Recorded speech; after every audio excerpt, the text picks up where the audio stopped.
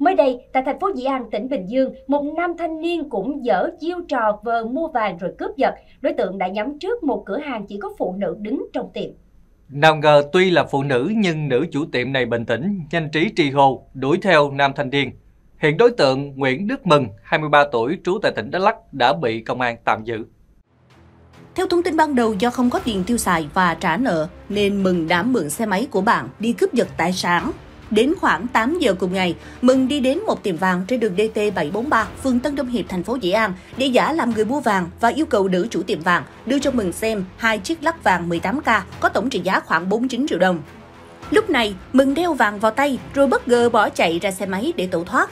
Thấy vậy, người phụ nữ chủ tiệm vàng đã tri hô cướp và cùng người dân gần đó đuổi theo khống chế và bắt giữ được Mừng và giao cho cơ quan công an xử lý. Tại cơ quan công an, Mừng đã thừa nhận hành vi phạm tội, vụ việc đang tiếp tục được điều tra làm rõ.